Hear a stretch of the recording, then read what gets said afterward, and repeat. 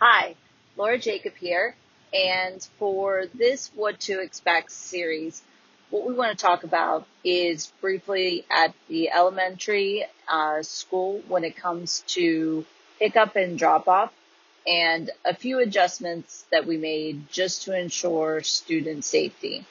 So I'm going to walk you through what to expect. There's only a few minor adjustments, but we just want to make sure everybody's clear to ensure absolute student safety when it comes to pickup and drop off. And students, I'm going to be using this phone on a closed course. Please do not use your cell phones while you're driving. So let me take you around and show you what to expect.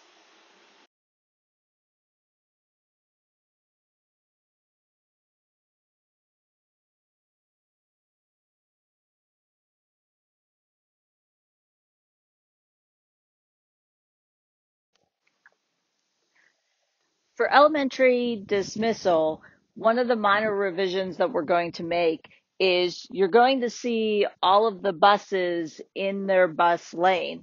And so from three o'clock until approximately 312, 315, you will notice that all the buses will go first before we start dismissing students here in the driving lane. So if you're coming to pick up your child, please know that all the students that are riding bu- the bus will be permitted to leave first and the buses will go first.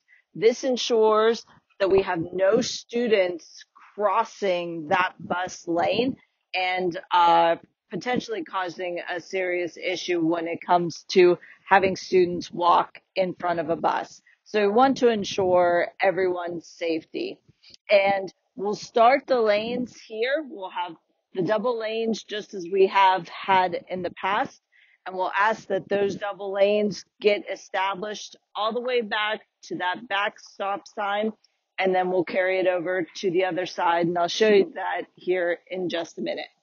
So we'll have a double lane established right here down this line, just as we have had in the past.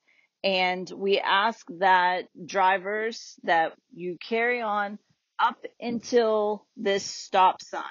But what we do ask is that you do not park or line up in this one lane area because this is where the buses are going to leave.